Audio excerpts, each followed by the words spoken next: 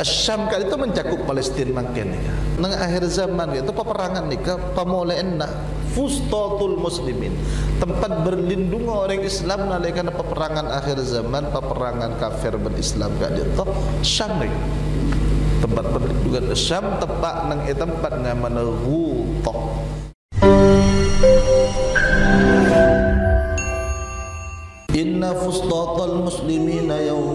Malhamati bil ghuta ila janibi madinatin yuqalu laha dimashqa min khairi madain syam Saum kunna pona pa fustat makna aslina fustat ni kekemah tapi maksudnya perlindungan. Saum kunna pona pa perlindungan banyak-banyak orang Islam. yaumal malhamati hari peperangan fitnah.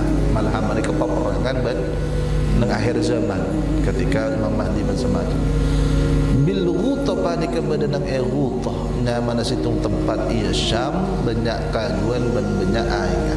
Ila janibi madinatin e pengkir kota yuqalu laha sa'ida gua kilahikan di eki Madinah di Mashku apa di Mashku nama pengkir di Mashkus semakin tiba dengan negeri sambut min khairi madain syam di antara nak paling bagus banyak-banyak kota asyam asyam kali itu mencakup Palestina makin ya. masa masuk masuk Syam Akhirnya ada gunanya Allah Subhanahu wa taala, "Alladzi barakna haulaha linuriyahu min ayati." Alladzi barakna ini ke Syam bumi Syam termasuk Palestina kali itu bumi mubarakah dari ajaran Allah Subhanahu.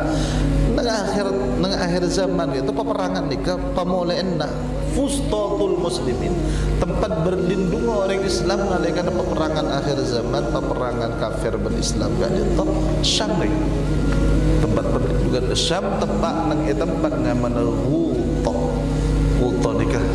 Saya kira dah masuk. Sejelas banyak nikah hadis doif tapi banyak hadis yang menjelaskan akhir zaman pemulihan nikah ke Syam tempat wali-wali Allah bahkan kata Palestin ini sebut sahaja ajuran Allah SWT ajuran Rasulullah SAW zahirin ala haqqi. Akan senantiasa berpegang pada kebenaran tak akan berubah. Walaupun banyak orang sekhulkan semuanya